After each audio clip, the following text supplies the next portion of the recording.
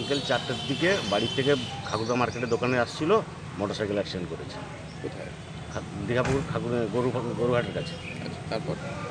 তারপর আমরা নিয়ে আসলাম বেল্লা হসপিটাল। বেল্লা হসপিটাল থেকে নিয়ে গেছিলাম মেদিনীপুর। মেদিনীপুর থেকে রেফার করেছিল কলকাতা। আমরা তখন কলকাতা নিয়ে যাওয়ার সাহস পেলাম না। আমরা নিয়ে যেত উড়িষ্যা কটকের দিকে বা ভুবনেশ্বরের দিকে। তখন বাঁকড়াবাদ পেরিয়ে আসছি। বাঁকড়াবাদ পেরিয়ে আসার পরে ডেট হয়ে যায়। বাড়ি কোথায়? কী নাম?